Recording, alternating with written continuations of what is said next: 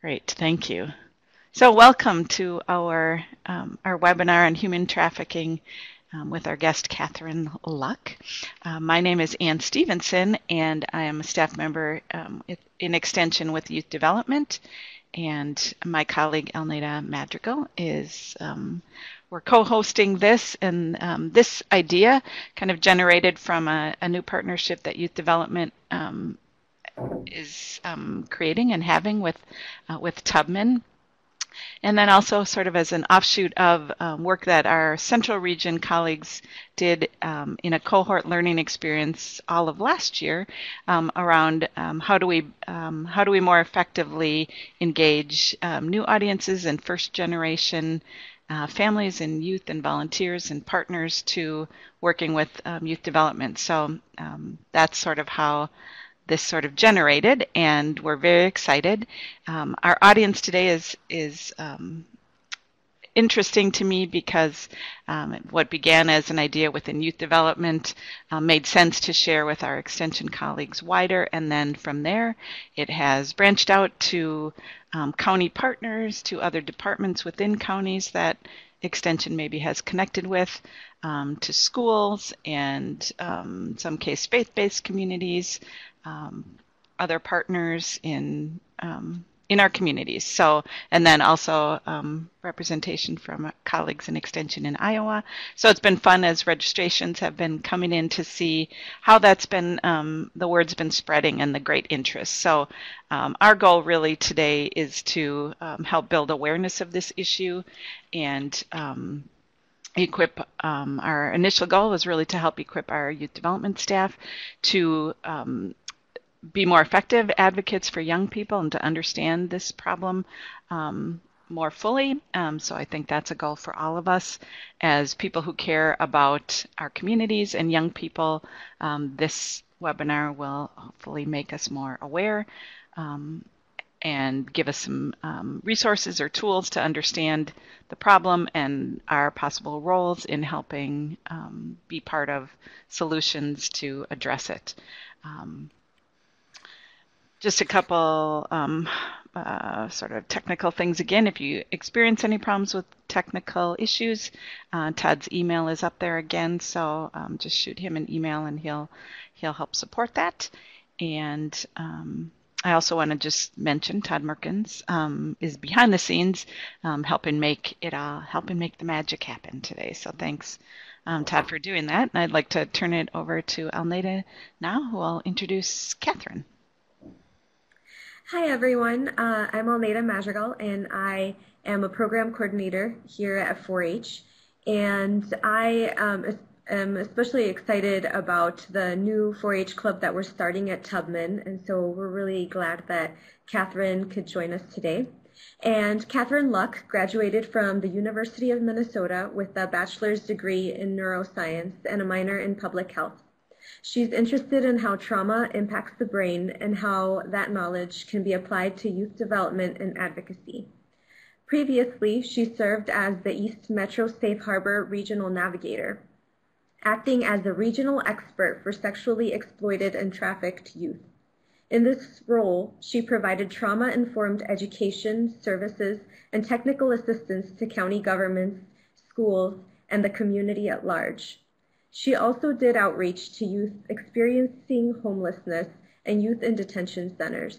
Currently, she is a youth violence prevention educator with Tubman, working to assist local middle school and high school students and schools with healthy relationship skill development, service learning, and peer leadership efforts.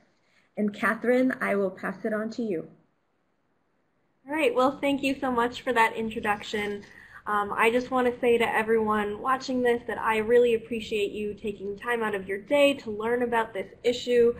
Um, it definitely does impact us all, as you will see throughout the presentation, and we um, are going to get started. Um, so first and foremost, down to business, I will ex I'll explain um, I'll talk about this slide and then I'll explain kind of what regional navigators do. Um, I did not realize that this was going to go outside of the metro area, so I have only provided the contact information for regional navigators. Um, but effectively, what a regional navigator is, is it is one or a couple of people from an organization. It's uh, usually a nonprofit um, that have uh, been designated as the regional experts. Um, Minnesota is divided up into 10 regions, um, not counting tribal, not not counting tribal regions as well. Um, so each regional navigator is in charge of a specific amount of counties and are considered the regional expert on what trafficking looks like in each of those counties.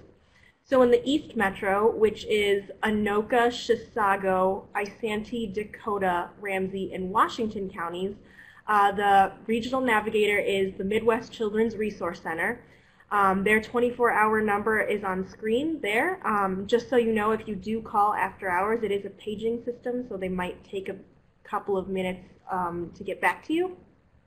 If you are in the West Metro, um, we have the link. Um, they have 24-7 access at that number. That um, phone is monitored constantly by the regional navigator, so um, they should be picking up as soon as you call. Um, outside of the metro area, you can find your regional navigators and their contact information if you go to um, uh, the MDH's website, uh, or you can just Google Safe Harbor Regional Navigators Minnesota and type in your county, and it will direct you to the person who would most be able to assist you in your area. Um, regional navigators do a little bit of everything. They do education, they do training, they do advocacy. Um, they wear many hats, so it's worth it to have them be your first call if you suspect or are concerned about a youth or a young adult that's going through trafficking. And we'll talk about the signs um, about what that might look like later in the presentation. Um, so I'm going to start us off by using, um, by throwing some introduction questions to you out there. So what are some stereotypes that you've heard about trafficking, or what are some facts that you might know? Um, if you look at the bottom of your screen, there's a discussion pod where you can type in just kind of your thoughts. Um, I'd just like to understand um, a baseline of where we're starting from.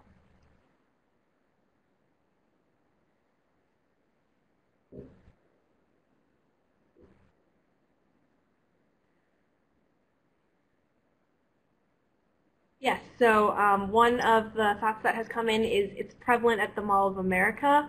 Um, it's more, there's an idea that it's more of a metro problem. We'll discuss that. We'll definitely talk about the mall. Um, um, starting with really young girls for sure.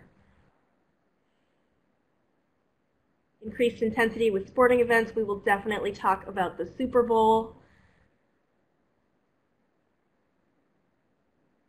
Uh, Native American youth, we will talk about that too, but we know that um, the rates for Native American youth are disproportionate compared to the general population.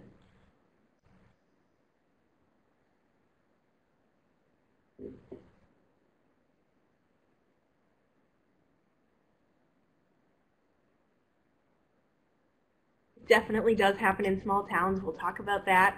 It might look different, but it does.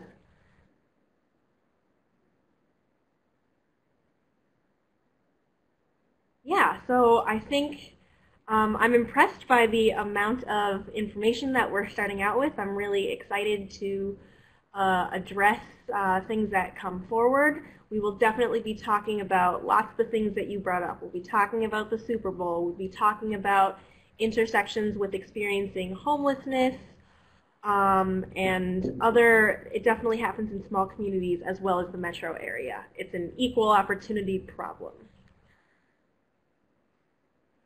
So in order to start out um, talking about trafficking, we have to understand um, legally kind of what we're looking at and then work from there. Um, so there's a federal definition of trafficking that we'll talk about, and then there's a Minnesota definition as well. Minnesota's definition, as you see, will, as you see in a little bit, is much more broad than the federal definition, but it's important for us to understand both.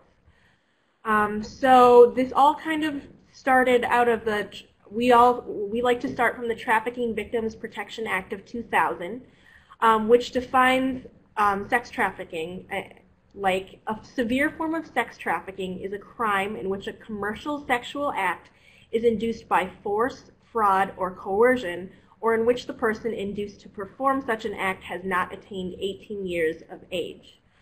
So this is all a little bit legalese, so we'll break it down so, um, so it makes sense for everyone. Um, Commercial Sex Act um, is the first thing that we need to talk about in the federal definition. Commercial Sex Act mean, um, meaning some sort of sex act is exchanged for money specifically.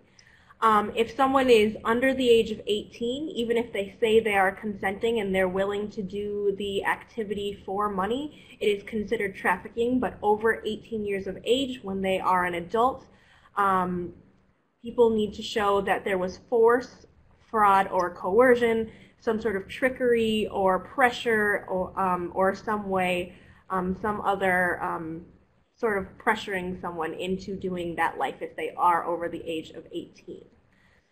Um, so when we are talking about federal trafficking, they are looking for three sorts of things. They're looking for the process, the means, and the end. So the process is how did how did a trafficker obtain a person? How were they recruited for this job? How were they um, kept? How were they moved around or transported? Um, means, meaning what is, why are they staying, why are they continuing to stay in this um, job even though it's harmful? And again, if someone is over the age of 18, um, the means has to be by force or fraud or coercion Force could look like um, threatening someone's family. Uh, fraud oftentimes looks like um, saying that you can bring someone over to America um, and get them a job and provide them a better life, and then uh, withholding visas, and then coercion, sort of trickery, saying um, it'll make you famous, um, it'll you you can do all of these other things. So one of those things has to be there. Um, and then we have to understand what purpose was this person tricked into. Was it involuntary servitude, debt bondage, slavery, or sex trade? Um, when we talk about trafficking, um, for most of this presentation we will be talking about sex trafficking, but it also definitely happens. Um, there's also labor trafficking as well, which is a particular concern when we talk about um, farming, um, communities as well. Um, one of the, I would say, most prevalent labor trafficking cases that's happened in the United States happened down in Florida. A recruiter for labor trafficking would find vulnerable people who are outside of a homeless shelter um, and invite them to work on uh, work on their farms and provide them a place to stay. Um, and then they weren't allowed to leave this compound. Um, and then after they left that compound, or after they tried to leave, uh, the trafficker had a commissary sort of store where uh, people could buy all of their things from the employer, like toothbrush, toothbrushes and food and deodorant. But the trafficker also provided um, different types of drugs in the commissary, um, knowing that many people experiencing homelessness were incredibly vulnerable to chemical use or had been using chemicals in the past um, which was how they kept and continued keeping people on that farm. I believe that case happened a couple of years ago. I don't remember the um, names though, but you can Google that. But again, um, we're going to be focusing on sex trafficking.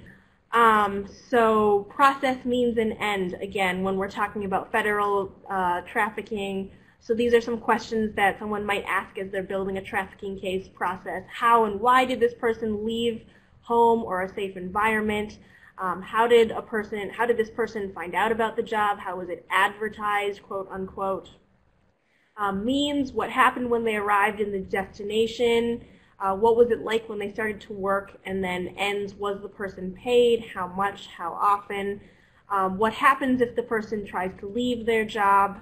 um, if they try to leave and was the person afraid of their employer, why or why not. So again, these can be applicable both to sex trafficking and labor trafficking. Um, so now we talk about Minnesota's definition. So Minnesota, um, let's talk about the laws around Minnesota first. Uh, so the first safe harbor law was passed in New York State in 2008. Minnesota was the third state to pass a law in 2011 that went into effect in 2014. Uh, it was the first state to dedicate funding to services. So safe harbor law, there's sort of two portions um, that you'll you'll hear talked about when we talk about um, sex trafficking in Minnesota. Uh, the safe harbor part of that uh, effectively decriminalizes prostitution for minors under the age of 18. Um, this means that they can't be picked up and put in jail for, um, for prostitution. Um, as a side note, uh, when we are talking about victims of human trafficking, they should not be called um, child prostitutes because they are victims. Um, sometimes, um, though, that terminology can get mixed up. So just to be clear, we don't call victims of trafficking prostitutes at all. Um, so again, that safe harbor law will decriminalize um, prostitution for minors under 18, under the age of 18. It also puts um, puts um, trafficked youth into child protection codes, making it making sure that they access are able to access services. Um, and then speaking of services, that's kind of the second portion of the law. You might hear the term no wrong door thrown around.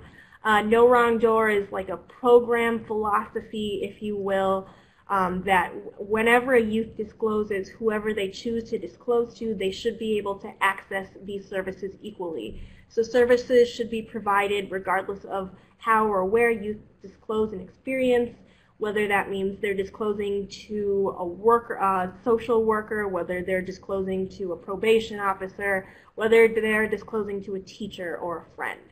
Um, regardless of where that disclosure is coming from, they should be able to access those services.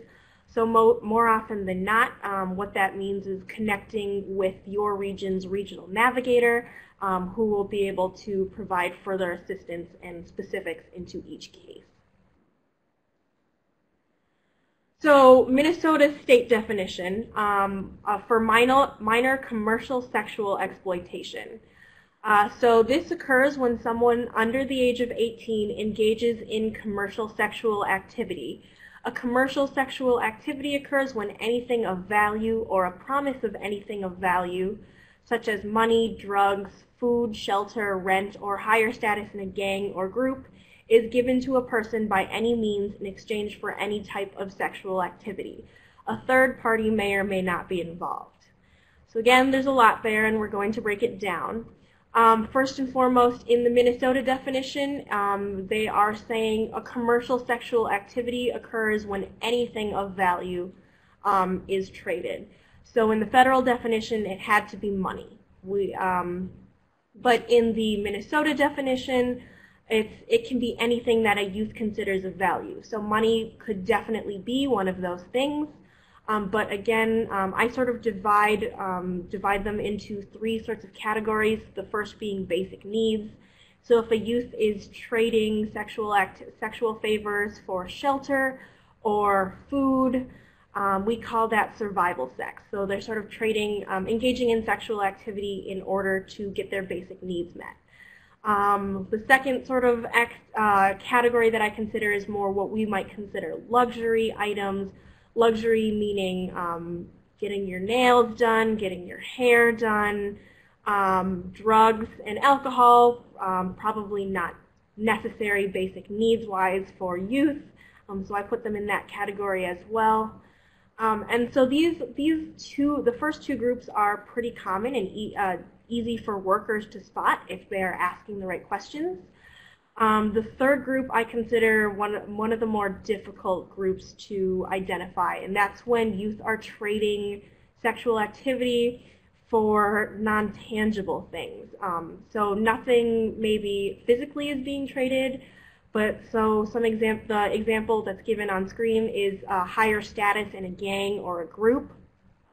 Um, so that might look like a youth engaging in sexual activity with a teacher for higher grades, because the youth considers grades to be uh, valuable and important.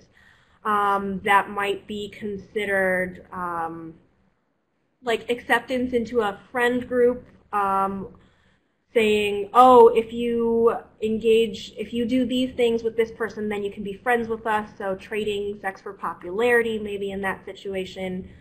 Um, oftentimes in the suburbs and in uh, more rural areas, it might look like youth engaging in sexual activity to get into a party. Um, saying you have to do these things, otherwise you can't come in, we can't give you beer, all that type of stuff. Um, so again, entrance into a party, not maybe a tangible thing, but still um, the youth is trading sex for something that they consider of value. Um, finally, um, so you can see how maybe this definition is definitely a lot broader than the federal definition, and a lot more things could be considered trafficking. Uh, another thing that comes up sometimes um, when certain groups are hazing, specific types of hazing, when it does involve sexual activity, can also be considered sex trafficking as well. Uh, and then one other thing of note in this definition, it also says when the promise of anything of value um, is exchanged for sexual activity.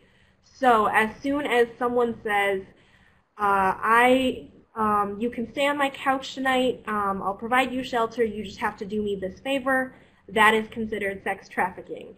Even if the favor hasn't been performed yet, even if the shelter hasn't been um, provided yet. Um, as soon as that promise is made, it is considered trafficking.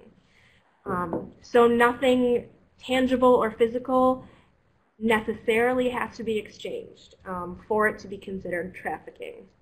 Um, I want to take a minute to pause here um, and uh, talk in the discussion group. Are there any other are there any questions about the definitions of trafficking in Minnesota or federally?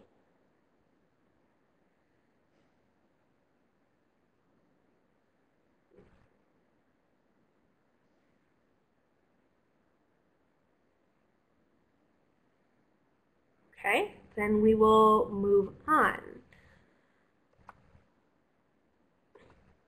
So I'm sure that in while you are while you're listening to me talk about uh, things that youth might trade for things of value, you are definitely aware of other things um, that youth might also be trading in exchange um, in exchange um, for sexual activity, effectively um, most, if not all of these things, um, will be considered will can be considered trafficking under law.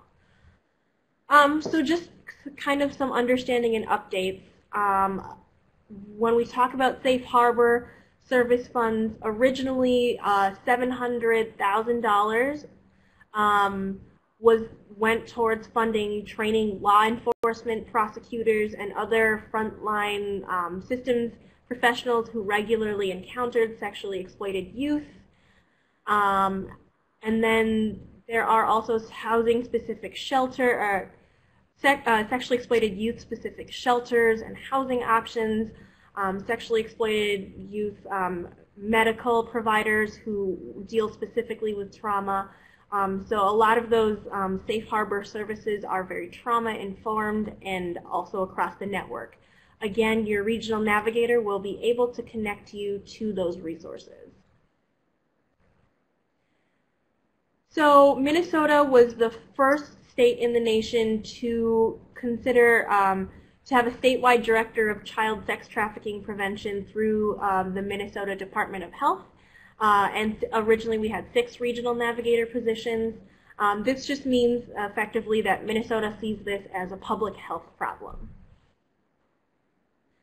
Um, updates more recently, um, we have uh, been funded uh, an additional 2.1 million more dollars for shel more shelter and housing for these youth, for street outreach, so people going out into the street um, and meeting with youth um, and maybe providing services that way. Other supportive services like medical, legal um, services, um, case management services, and protocol development. Um, protocol development just means that there are counties um, in the area who are trying to figure out what they want their um, response to sexually exploited youth to be because because this is a relatively new law, there's still a lot of troubleshooting and trying to figuring out what does that look like. Um, we also know that um, with uh, youth experiencing trafficking, they're um, they don't really care about county lines. They're going to go where they uh, where they um, can meet up with people. Uh, they're going to go where they can find a safe place to stay for the night, and they don't really care about those counties or, in some cases, even state laws if you're close enough to the border. Um, so, uh, building a trafficking case in Minnesota uh, is very multi-jurisdictional. Um, so they have they've also put money towards that sort of training as well. Um, something that you will notice, um, one other thing that they updated in 2015 was that they decided to allow youth who were up to the age of 24 to access safe harbor supportive services. However, um, you'll notice that the original safe harbor law only um, only uh, protects people who are under the age of 18. So youth in that 18 to 24 range, who we would technically consider legally adults, um, are still able to be charged with prostitution. Um, so within this past uh, legislative session, um, there was a legislative mandate to start strategic planning for safe harbor for all. So people are now starting to ask the questions, what does it look like to decriminalize prostitution for youth up to the age of 24? Um, we aren't sure at this point in time. Um, what what we have now with youth under the age of 18 is known as the Nordic model. If you're interesting, interested in understanding more about what that looks like um, with uh, the decriminalization of, of prostitution for folks. Um, so that is um, well worth your time if you're interested in that. Um, as of May 23, 2017, reports of sex trafficking should be made to child protection.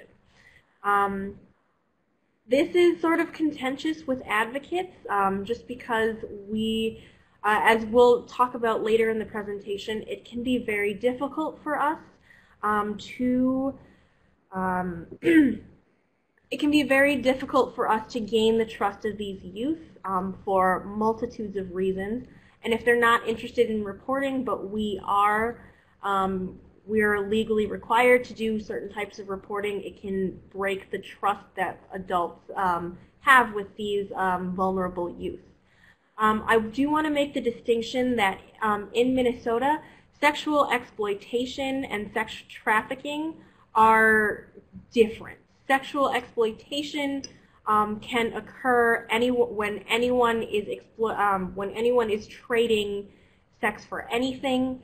Um, a third party is not required. Sex trafficking requires that third party. So what we would classically call the pimp or the trafficker, that is considered sex trafficking, and that should be reported to child protection. But if you know that a youth is maybe engaging in survival sex um, or uh, exploiting themselves, perhaps, that's not a child protection report. Um, if you are confused, you can definitely call child protection and pose them hypothetical questions um, to see if it would be a report or not. But it's something that we're still talking about in the community, in the um, advocacy community as well. So now we actually have to talk about what trafficking looks like in Minnesota. Again, I said we were focusing mainly on sex trafficking, um, but typically labor trafficking victims report being domestic workers such as nannies or housekeepers. Um, you may have heard the news story of uh, there was a woman in Woodbury, Minnesota who was keeping um, a housekeeper that she brought over from her with uh, from China and was um, for like abusing her and making her sleep on the floor, um, and generally just treating her poorly. Um, so that's probably one of the classical labor trafficking sort of victims that we've seen in Minnesota. Um, we haven't seen too many of them, though, I would say, which doesn't mean it's not happening. It's just we haven't been reported on that many situations.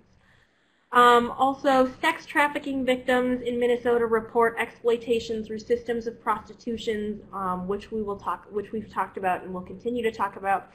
Servile marriage, oftentimes that can look like someone saying, I am I'm the dominant partner. I take care of you, and because I take care of you and I love you a lot, this is what you need to do. This is how you need to provide for the family. Um, forced stripping. Uh, sometimes when um, people are not making enough money out on the streets, um, generally traffickers um, set a quota for um, an amount of money that um, victims need to make every night. So sometimes if victims are not making making that quota on a regular basis, traffickers will force those those people to also work in strip clubs as well to supplement their income um, and make up make up that money, um, that quota, to meet that quota. Uh, and then pornography as well. It is pretty common um, for traffickers to require um, require their victims to record any encounters with um, with clients that they might have, and then um, post them for monetary benefit or gain later.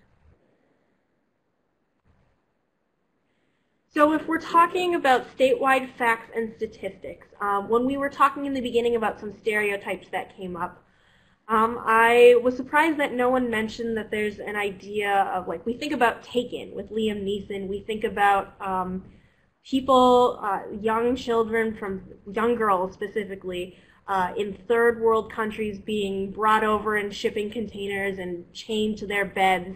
And I'm not going to say that doesn't happen, but 90% um, of human trafficking victims within um, the Minnesota area were born and raised in Minnesota.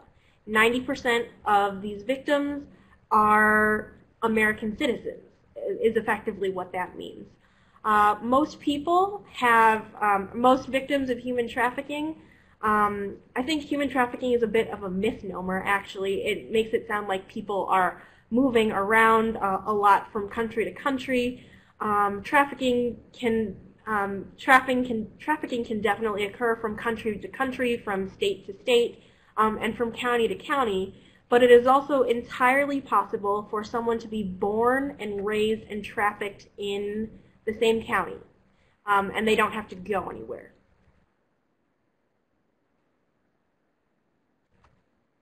Um, some other information of note, uh, we have to talk about the intersections. 100% of the folks that we work with have experienced complex trauma.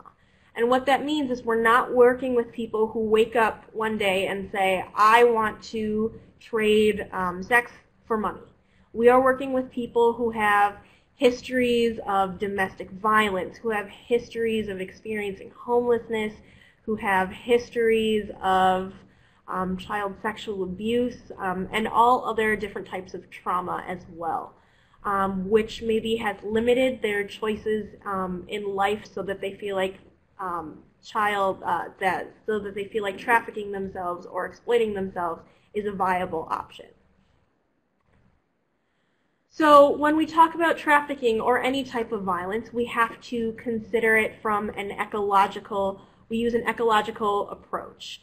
Um, and what that effectively means is we have to look at um, this as a public health issue, um, and there are all sorts of risk and protective factors at all different levels. So um, any one of these uh, levels or things doesn't um, make someone more inclined to be a victim of violence or to use violence, um, but many of these things coming together might explain where they're coming from. Uh, so with the ecological approach, we start out with the individual. Um, so was that individual the victim of child maltreatment? Do they have untreated mental health um, that isn't being addressed? Do they have untreated chemical health that's not being addressed? Um, is there a history of violence within that youth specifically? Uh, and then we look outwards to their relationships. Um, what did what did their family life look like? What, what did their friends treat them like? Was violence very normalized um, between the parents and from parent to child? Um, what is there potentially um, the normalization of violence within friends, like that's how your friends act, so that's how you might act as well. Uh, and then we look out even further into the community. Um, is there higher rates of poverty? Are there high crime levels? Uh, are people moving around a lot? What does economic opportunity look like? And then finally, we'll, we look out society-wide. What does society say about my race, my gender, my ethnicity, my sexuality? Um, and all of these things are potential risk factors for someone experiencing trafficking, but we also know that some of these things can also be protective factors as well. Um, everything that I've talked about, it's definitely not an exhaustive list. There are definitely many other factors at any of those levels that I did not discuss, but I'm sure you can think of some as well. So when we talk about sex trafficking, we have to collaborate with partners. Uh, and what that means um, is because we know that uh, people have experienced, people who are experiencing complex trauma, so people who are experiencing domestic violence, experiencing homelessness, experiencing sexual assault or child sexual abuse, are those are leading risk factors for experiencing commercial sexual exploitation or trafficking. Um, so all of Tubman's services have been intentionally designed for youth who have experienced trafficking or, at, or are at risk for trafficking. Because trafficking um, covers such a wide net, um, we if we focus our programs on trafficking, we are also able to work with victims of domestic violence and victims of um, um, homelessness and sexual assault. Um, so general findings that inform our work. We know that over half of community youth we've surveyed do not recognize abusive behaviors as being abusive um, which really speaks to um, the normalization of violence that potentially um, happens with, um, within society. Um, and then over 70% of youth said they would tell a friend before anyone else about the abuse or violence. And what that means is we as adults can definitely be aware of this issue and um, talk, talk to the youth in our lives and build connections with them. But really it's um, important for us to inform youth of this issue so that they also know what to look for in their friends and family members because it's more likely that a friend is going to disclose to another friend than um, someone is going to disclose to an adult. So I really, I'm really grateful to the Fridley students that are watching this and getting informed because um, you're going to be able to do a lot more um, impact than maybe some of the adults um, can. Um, so we have to definitely talk about homelessness um, when we talk about human trafficking. Studies of youth who trade sex show that violence and homelessness is incredibly common. Um, 39,000 children under the age of 18 who run away or have one homeless episode are sexually assaulted or exploited, and up to 30% of youth on streets or in shelters have been victimized by sex trafficking. Um, and let's really talk about that last bullet point for a second, because effectively What that means is if there are three youth in your community who are experiencing homelessness maybe tonight, um, statistically one of them will be approached um, by a trafficker tonight. Um, so just to really put that in perspective, um, it's incredibly common. Um, because traffickers recognize that those youth are particular, particularly vulnerable. Um, we also can't talk about trafficking without also talking about domestic violence. Um, domestic violence, sexual assault, child abuse, and human trafficking are not voluntary and violate a person's freedom. Um, and so many people uh, watching this webinar might say, well, that's quite obvious, Kathryn. Um, but sometimes we get might get caught on victim blaming, whether or not we mean to, and say, why didn't they just leave? Why didn't they just stop having sex? Why didn't they just get out? Um, and they're choosing to be there. So it's really important for me to start off by reminding people that people are not choosing to be there. Um, things are keeping them there, but it doesn't mean they want to be there. Um, most people who have been victimized experience post-traumatic stress disorder, brain injuries, and other forms of trauma. So um, we can be trained to work with um, victims of domestic violence. We can be trained to work with victims of child abuse. Um, we can do all those trainings separately. Or if we um, just approach it um, from a general sort of trained to be trauma informed and uh, provide trauma informed care, you're sort of covering the whole gamut of issues. Um, additionally, domestic violence and sexual assault, like those two, trafficking relates to power, control, exploitation, and oppression. So again, um, when we talk about trafficking, sometimes we focus on the sexual activity. Like, oh, we just need to stop them from having sex and going out on dates is what um, they're referred to commonly as. Um, but if we focus on the sex, that's certainly there's certainly one there's certainly some merit in that. Um, but if we only focus on the sex, we are not focusing on all of the other power structures that are keeping a youth there. Um, so again, that power, that control, and that oppression. Um, and then finally, the needs of people who have been victimized can be similar. They're looking for safe housing, confidentiality, health services, and other social services. Um, and this one is on there particularly because um, sometimes when I was in my previous job working with victims of trafficking, um, people who had domestic violence training or sexual assault training would come up to me and say, well, you know, I, I don't know how to work with these youth. They're so different. Their needs are so different and they're so great. So this bullet point is really on there as a reminder that um, if we that the youth probably are going to want the same things as the youth that you maybe are already working with. Um, so their their needs are might be different, um, but for the most part, it's important to um, ask them. Uh, additionally, many youth that um, have experienced trafficking do not like being called victims of human trafficking. Um, so if we label them like victims of human trafficking, they're less likely to want to work with us because we're stig- we, they feel like we're stigmatizing them, uh, victimizing them in another way, um, and not fully hearing them and seeing them as like full human beings. So it's important for us as we work with people of all types of trauma to also keep in mind that we don't want to define any one person by their trauma. They're not just a victim of sex trafficking. They are many, many other things as well. Um, so trends that we are seeing, we're seeing all youth of all genders. Um, we definitely have to talk about LGBTQ youth. Um, we know that these youth are at higher risk just because um, if they live in families or environments that are not accepting of their sexuality and they come out, um, they are, it's likely that sometimes it occurs that they get thrown out of their house um, and they have nowhere else to go. So LGBTQ youth are at risk if they don't have a supportive environment, a supportive, safe environment to come to. Um, I also mentioned boys because um, we know that uh, there, we know that there are many, many uh, female victim, female identified victims of human trafficking. Um, but a study by the World Health Organization in the early 2000s found that globally, boys are trafficked at equal, if not higher rates to girls.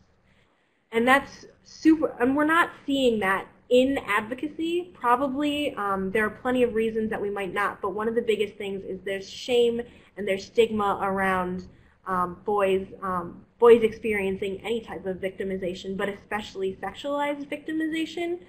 Um, so it's really important for us to remember um, that all that all youth um, can potentially be vulnerable, not just girls. Um, homeless and runaway youth, that is important um, to note because a lot of the times if youth are homeless or running away, they don't have, um, they don't, youth generally don't have a lot of resources. So they're not able to just provide for, um, so they're not able to just pay for things outright. So they're willing to do things in order to get those needs met. So homeless and runaway youth. Uh, survival sex is common, again, trading sex um, or sexual activity for shelter or food or just a warm, warm place to stay at night. Especially in Minnesota, we know these winters can be really cold. Um, so that's something that comes up. Again, 90% are U.S. born, but we are seeing a disproportionate number of African American and Native youth which is not to say that this doesn't happen in white communities or in Asian communities or other racial or um, communities like that. It might be that these youth have access to other services and are never coming to us, or it might be that they don't recognize that they're experiencing trauma. It's um, very normal for them, so they're not choosing to come forward, or there's shame or stigma around coming forward. Um, and then, of course, we cannot talk about trafficking without also talking about abuse or exploitation that occurs through technology. Um, so sexting, social media, backpage, pornography, arrangements over the internet. Um, one thing that I like to talk about is dating apps. I had uh, someone that I was working with would frequently just go on Tinder, which is a dating site, um, and would message people and say, hey, let's meet up. We can do these things if you buy me a pack of cigarettes. Um, so technology, while ha it has provided us in a lot more connectivity and access to um, different communities, it has also that's been somewhat of a double-edged sword because it makes it easier for other people to find that. Um, sample factors related to exploitation. So this was adopted from the Girls Education and Mentoring Services. So these are just some ways that um, some ways that a youth might end up in a situation where they are being approached by a trafficker. Um, so it starts very young, linking with the linking of love, sex, and abuse um, during child sexual abuse. Um, there's definitely a violation of boundaries there. Uh, and then there's guilt and shame, especially if uh, a youth um, is being abused by someone who says they care about them and love them a lot and says, um, this is how I show love to you, but you can't tell anyone else or they won't believe you and you'll be in trouble. So a lot of that guilt and shame. Um, they might view themselves as a sexual object in terms of saying, well, this is how I show and receive love. Um, this is what I'm good for. Um, again, uh, linking to that maybe potentially low self-esteem. Uh, maybe at that point in time they've decided they've had enough and they run away and they are experiencing homelessness because they have nowhere else to go. Um, again, oftentimes youth don't have access to a lot of money, um, so there's poverty and that might create a need where someone might um, begin engaging in um, survival sex or trying to find someone who will pick them up and take care of them in exchange for sexual favors. Um, and generally it's adults doing that or older people. Um, and it, when a person is, when a young person is in a relationship with an adult, there's definitely an unequal power dynamic there. Um, media influences also take it um, um, should be factored in. Um, we, if you think about the movie Pretty Woman, it made it glamorous. It made it look glamorous to be um, in the life. like someone will come rescue you. So that's perpetuated that idea. Uh, demand, we know the sex industry is uh, estimated to be valued around $9 billion in the United States um, and $99 billion worldwide. Um, people are willing to pay for um, other people. Um, people are willing to pay for porn. People are willing to pay for um, to go into strip clubs. So all of that um, fuels that demand. Um, and then finally, at that point, someone, um, a recruiter or a pimp or a trafficker might approach a youth. Um, it is important to note that in the middle there, um, when they are experiencing homelessness and there's that poverty and need, and they're engaging in survival sex um, on their own, they're still considered sexually exploited. Um, it's only when the recruiter, the pimp, or the trafficker approaches them that that is considered trafficking. But um, victims who are engaging in sexual exploitation on their own are still in need of help. So here are some things that you should look for when we are talking about um, trafficking. Um, any one of these signs on their own is not problem. Uh, it shouldn't be an issue. But if you see three or four of these coupled with maybe a gut feeling that something feels off, it's important to um, check in with someone, maybe consult with your regional navigator or someone else who has this expertise. Um, so if they, if students or if youth have a friend or a mentor or a pastor or a parent that they seem a lot closer to than uh, would be normal or maybe average for someone of their age, that could potentially be a sign. Um, I, if they have close relationships, that's totally fine and normal. Um, it becomes problematic when these relationships start to be a little bit controlling about what they can do with their time. Um, a common narrative um, that we see is the older boyfriend. If someone has a partner who is much older than them, that's potentially a sign. Um, oftentimes, recruiters will approach youth not as recruiters, but uh, as potential romantic interests and say, look, um, I, look, you're really pretty, you're really special, let me take care of you, I care about you, and then um, they gain the victim's trust that way. Um, so many times victims see their traffickers as their boyfriends. Um, so other terms that you might hear, boyfriends, daddies, um, just other sort of like pet names that someone might call their own spouse or partner as well. So they're very, they're very rarely going to say, this is my trafficker. Um, school absences, many of these times youth are not, um, maybe not comfortable at school or have decided that school is useless for them because they can just make money doing what they're doing now so they don't need to go to school. Um, Ramsey County definitely catches a lot of youth um, who are experiencing exploitation because they're not showing up in school, so the tru through the truancy system. Um, so that's a warning sign. Travel to vague locations, as if uh, a youth says to you, oh, I was in Chicago last week, and then um, Duluth the week before, and then you ask, oh, what were you doing there? And they can't provide you with concrete information. That's potentially a sign. Um, if they are fearful of certain groups of people, uh, for example, I worked with someone who was trafficked uh, by the gang, the Latin Kings. So she was very fearful of people who appeared uh, Latino or Latina because that's what her traffickers looked like.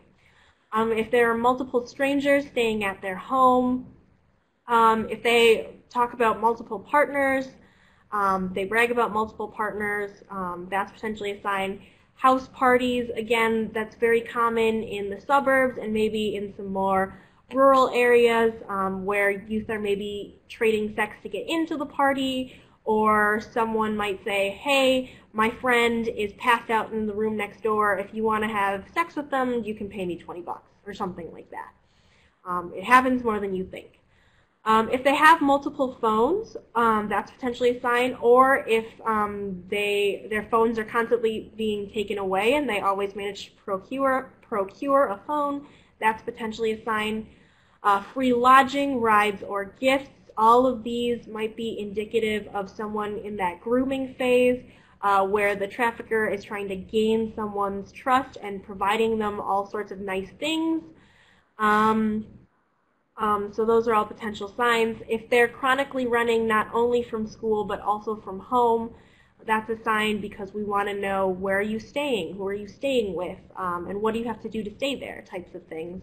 If they're vague on the details surrounding money, so you ask, oh, where did you, where did you get that, um, all these new like Armani clothes and shoes and stuff, and they don't have a really great reason um, for it, that's potentially a sign uh, drivers. Um, I had I've worked with a youth who had a different driver every day of the school week, and so a different driver would pick her up from school. She'd go um, be trafficked in the cities and then dropped off back at home on her own at, in the evening.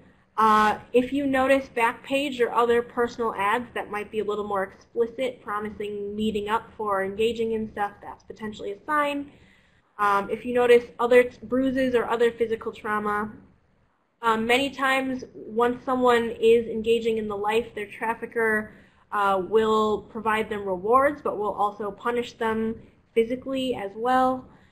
Um, when we also talk about physical trauma, it's rather normal for traffickers to tattoo their victims with their name to like brand their property. So if they have a new tattoo of a name or something like that, you should check in about that.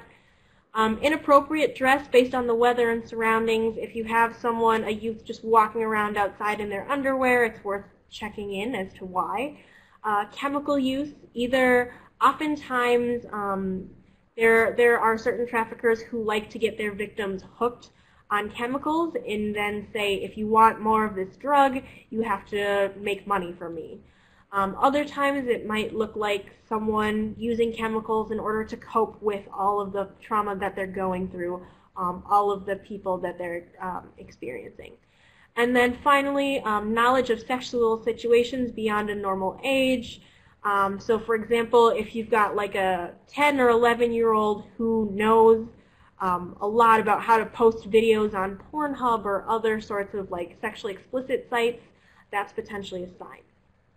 And again, any one of these things on their own is not problematic, um, but just um, a couple of these paired with like a gut feeling that something's off or odd, you should definitely check in with someone else.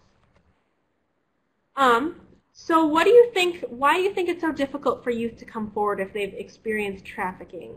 Um, we've talked a lot about uh, different reasons, so if you want to talk about those in the discussion.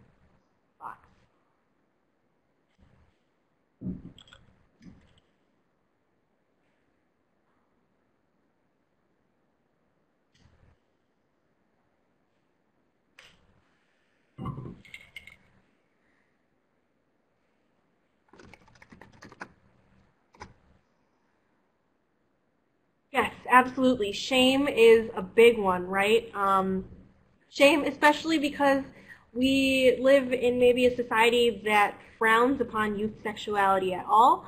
So it's hard to admit that, hey, I've been engaging in sex with multiple people for money. Shame. Fear is also a big one. Fear that they won't be believed. Um, sometimes fear that um, fear that they'll be arrested for a crime. Not all youth know about the safe harbor law and they think they can get in trouble for it. Uh, sometimes traffickers will make their victims commit some sort of crime and so that they can so that the traffickers can hold the fear of the police over the head um, over the victims heads and say oh if you go to the police and ask for help then I'll tell the police that you did all of these bad things and then they'll arrest you um, being blamed for what happened is completely normal saying that oh, I, I agreed to go on these dates, so it's my fault. They, if they don't know the resources, that's definitely one. Maybe it's all they know. Um, we know that just like in family, in like families where a grandparent is a doctor and then a parent is a doctor, the youth might want to be more likely to be a doctor.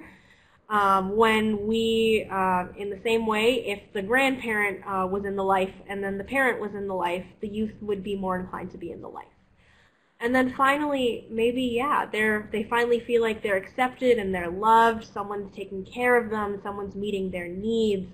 Um, youth, um, we know that it's super, super important for them to feel like they belong somewhere. And if they feel like they don't belong anywhere, um, and someone says, I love you, I'm taking care of you, this is, this is it, um, that's totally, that's totally an option as well.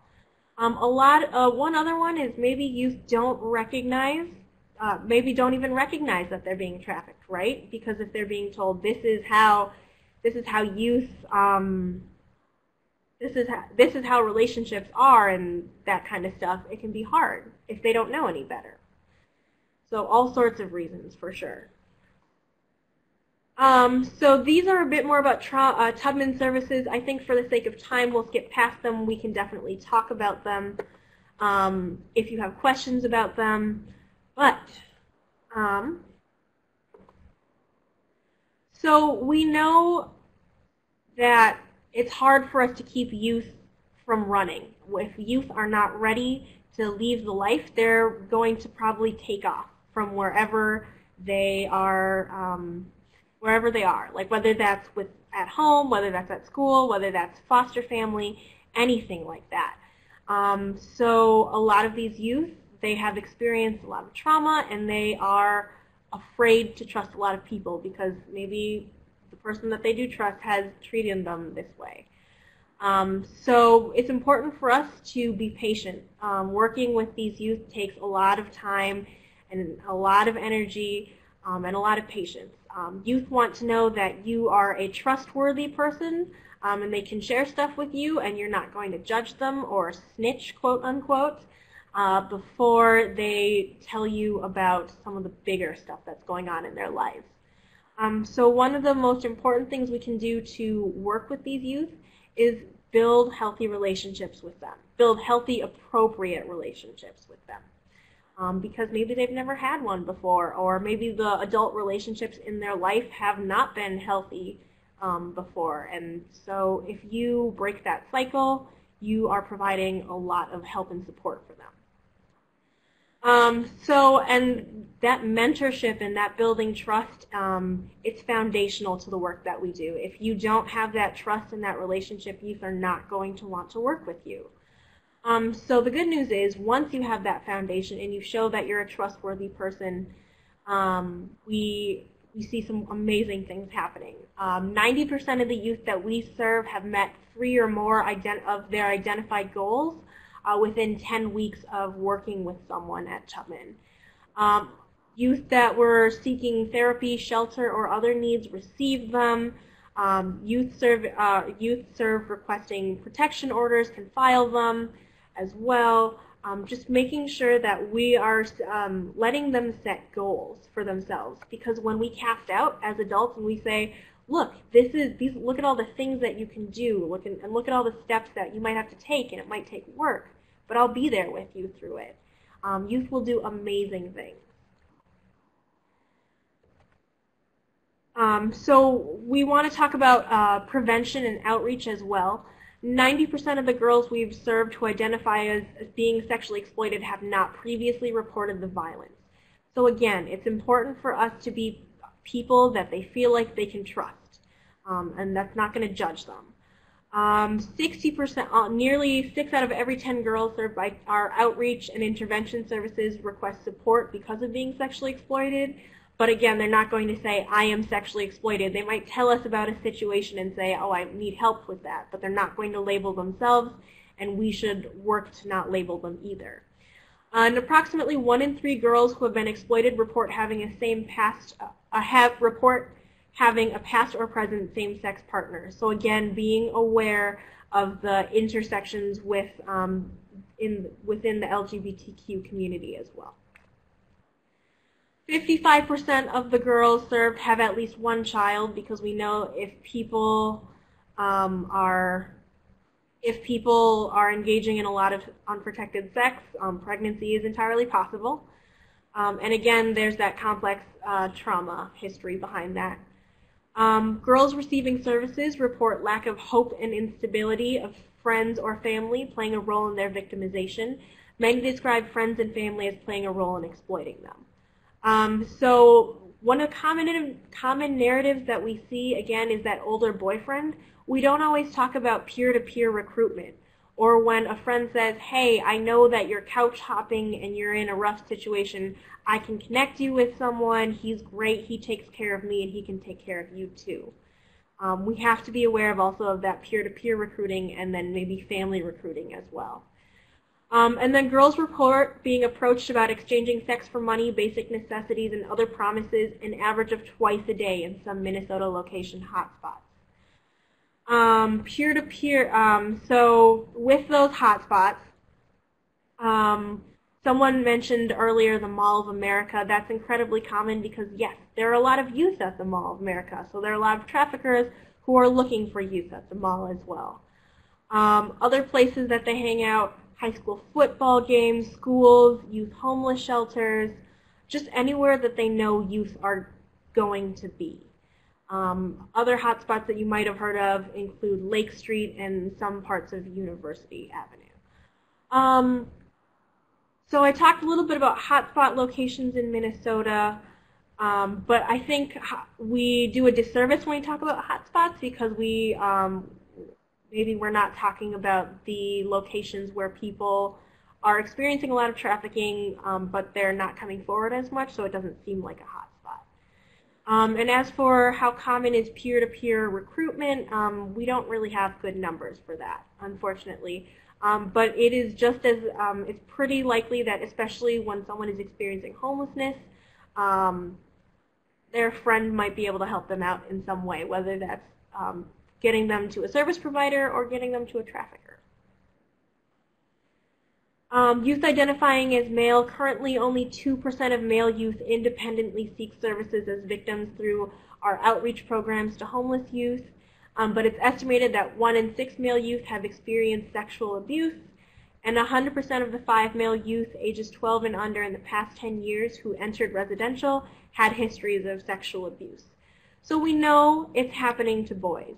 Um, but boys are not necessarily coming forward and disclosing to us because they don't feel safe, because they don't, maybe it's because they don't feel safe, maybe it's because they don't feel recognized, um, or they don't recognize it as um, behavior. I worked with a youth um, whose father was doing the exploiting um, and was saying, you know, this is how you become a man, this is what men do. So many, like male-identified youth, they don't know that this is wrong, especially if it's a trusted adult like your parent telling you what to do. Um, and then areas to address further. What are barriers for youth identifying as male or LGBTQIA? Again, we know that um, these are risk factors as well. We're just not seeing those numbers in the services that we're providing, um, which means there's a disconnect between youth coming forward and accessing services. Um, how can we better address overrepresentation of ethnic minorities and LGBTQIA clients as well? And then how do we expand general community identification and awareness about services? So I think it's great that you are all watching this webinar because now you have more of an idea of where, what to look for and where to go if you're seeking support. Um, and if you've learned nothing from this presentation, it's that um, your one key takeaway should be that poverty and oppression allow trafficking to thrive. Um, so sometimes after these presentations, people ask me, what do I do? How am I supposed to help people like this? Um, so you just want to, again, build relationships with them, connect, avoid, avoid judgment, and helping youth make informed choices. Um, avoiding judgment can look a lot of different ways. Um, sometimes when a youth tells us a particularly horrible thing, uh, if we aren't able to keep our faces straight um, and like neutral, we can maybe freak youth out in terms of saying, oh my God, and youth might say, oh, that's not even the worst thing that happened to me, but if my worker reacted this way, I can't tell them the big stuff or it's going to get worse. So again, keeping that neutral level face. It's difficult, but it takes practice. Judgment also might look like assuming that something that someone has been through is incredibly traumatizing. I had uh, I worked with someone who used to be in the life, got out about 10 years ago, and now gives presentations about um, about her experience. And one of the things that she says is um, that you know being trafficked was not traumatizing to her at all because the sexual violence was so normalized. What was traumatizing to her was um, child uh, child sexual abuse that made it like oh, normalized for her to get to that point. So uh, sometimes people would come up and say, "Wow, you being in the life must have been so traumatizing and difficult," and she always felt a little bit alienated from them. So just remembering that something that might be incredibly traumatizing for us might not be so for the youth that we're working with um, avoiding assumptions and being aware of the disproportionate impact violence is having on ethnic minorities and gender nonconforming youth, um, so housing, jobs, education, all of those things, um, they all do tie into trafficking because those are all potentially ways that youth are not getting their needs met and are willing to engage in sexual activity for those things. Um, supporting ways for youth to learn about healthy relationships, uh, fostering peer-to-peer support, um, collaborating. Of course, none of this work uh, gets done without fundraising and money. That's necessary. Um, but one of the biggest things is inspiring hopes and dreams. Uh, a lot of these youth have been told that they're going to amount to nothing or this is the best that they're going to get in life. So encouraging them um, to meet their goals, asking them what is it that you wanted to do, what do you want to do when you grow up, how do you, how do we get, how do we get you there, what do you think that looks like, um, and then supporting positive outlets and systems changes to best serve youth, because we can work really, really well um, with youth and be trauma informed and be totally non-judgmental. Um, but if we're not also changing systems that um, allow trafficking thrive, we're still going to be working with youth. ultimately we should be working uh, we should be working so that um, we should be working with the goal that eventually one day we don't have a job anymore because we are doing such great work. Um, and that is all I have for you. Um, the last slide is my contact information as well. Um, but I know we have some time left for uh, questions and other sorts of comments that we can talk about.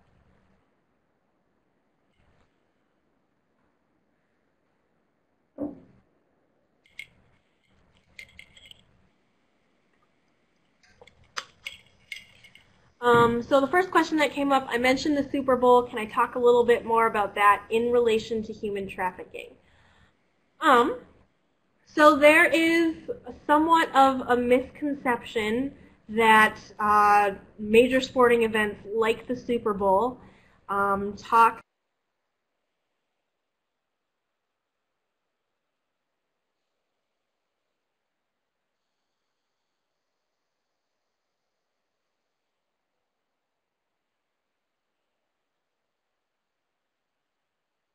um, increase amounts of human trafficking.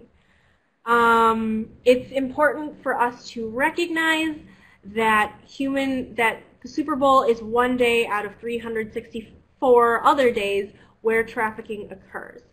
Um, that being said, um, there will probably be higher there won't be higher rates of trafficking, but there will be higher incidents of trafficking, meaning that because there are a lot more people going to be in town, more people are probably going to purchase. Um, but the rate of purchase pretty much stays the same throughout um, major sporting events. Um, the Super Bowl is great for promotional, uh, getting the word out though.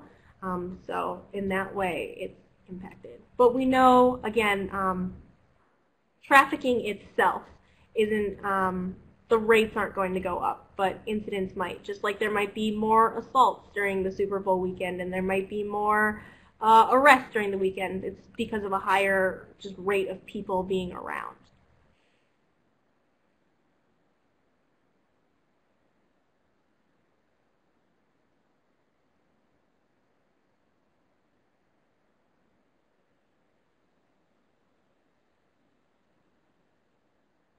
If you are interested about learning more as well, if you, you can look up, I believe it is called uh, sex buyers, uh, the report on who purchases sex um, has came out over the summer, over the summer of 2016, um, and they also talk about um, how people, um, a lot of the times, it's buddies who are having bachelor parties or they're going hunting or fishing opening when those types of events happen, like uh, different types of sporting events or uh, opening events that way, we do see um, trafficking in those locations as well.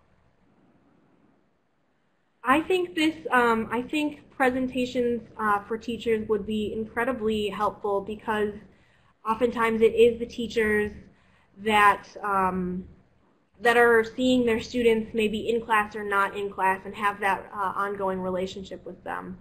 Um, Renee has posted keep, the um, sex buyer your report, it looks like, and in the discussion as well. Um, it was done by um, uh, our planned ending Urban, the Urban Out. is willing to I don't remember the act. for a few more UROC, minutes and- um, but it's an, another extension of the. University of Um, Minnesota. also- did that report. Great. Thank you. Um, I think the other piece is that um, hopefully this webinar has been a great tool for awareness and understanding and learning. I know it has for me. There it is. And um, just sort of first step. So. I Thank think you. don't forget to keep thinking about um, what's our next step or what can we organizationally or wherever wherever our spheres of influence are, what can we do? And um, hopefully we will be able to keep that conversation um, going and, and thinking about that long term. I want to uh, thank Kathryn for joining us today for a horrifyingly fascinating um, presentation about the issue here in Minnesota and across the, the country as well, and um, just enlightening so many of us. And I think the um, point you made about teachers, the person who asked about questions, I, I would second that, and I'd also second um, involving young people in awareness is a point that was really uh, well taken for me. Um, so members of student councils and any classroom youth who are um, or youth in non, non-school settings, um, how do we help support them in learning um, and awareness because that peer-to-peer support and awareness is, like you mentioned, super critical. So um, I just want to raise that up and um, also thank anyone, um, thank all of you, thank um, all of you for, for joining in and encourage anyone to to continue asking questions if you have them. Um, Kathryn, any uh, last wrap-up words before we close out?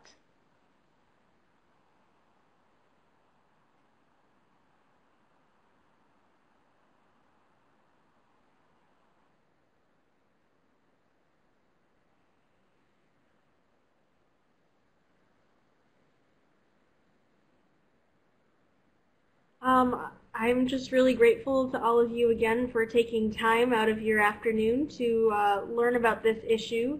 Um, I think now that you Thank you. And we did post the link. I will uh, post it again here on the discussion uh, um, pod for you to, um, if you want to share it with anyone. and, youth, um, we did um, send out an email, and if you would like um, some more information on that, you can just go on the on the link right there. So thanks again, Kathryn, so much for being here with us, and thanks everyone for joining in. Have a wonderful afternoon and weekend ahead. Pleasure. And Todd, a reminder that you want to turn off the recording.